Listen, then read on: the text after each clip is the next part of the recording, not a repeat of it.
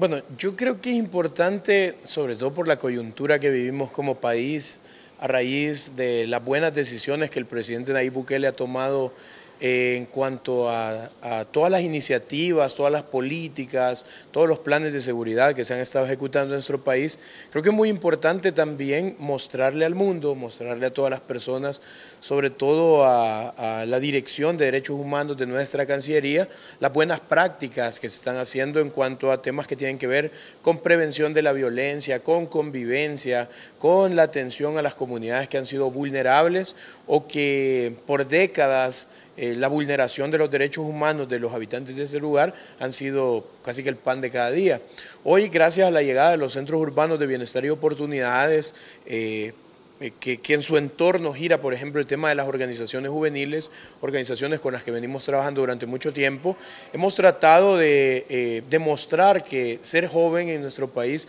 no es un delito, que ser joven en nuestro país es una virtud y cuando sabes aprovechar toda la energía que tienes como joven, sabes decidir bien, o sea, el Estado también se hace presente para poder acompañar todas las iniciativas, todas las incertidumbres, todas las dudas, el cuestionamiento que se te presenta cuando joven y los sueños y planes que al final querés alcanzar, eh, puede ser posible.